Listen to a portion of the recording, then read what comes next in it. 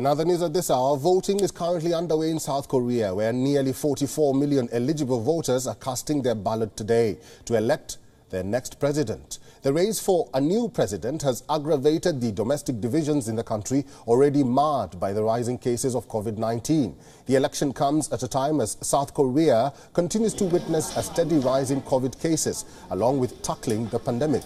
The winner of the election will have to face a string of other challenges like deepening gender inequality, the ever-present threat of North Korea and surging house prices in the country that have strained Asia's fourth largest economy. 소감은 그냥 어, 오늘은 꼭 투표를 일찍 와서 하고 싶었고요.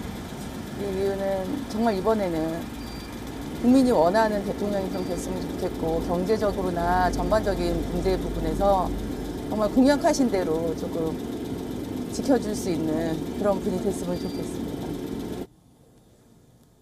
Initial surveys have suggested a neck-to-neck fight between two key candidates, ruling Democratic Party's Lee Jae-myung and Conservative People Power Party's Yoon Suk-yeol.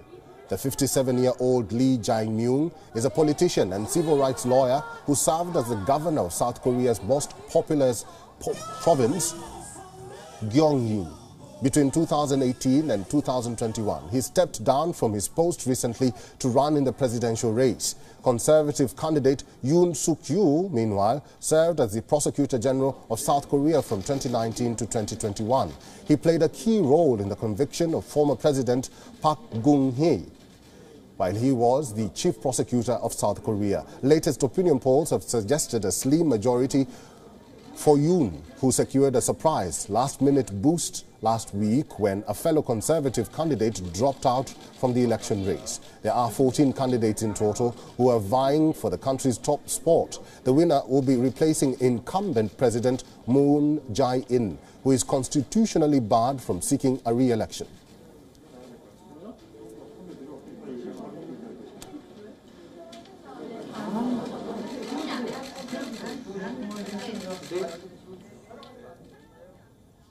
WION is now available in your country. Download the app now and get all the news on the move.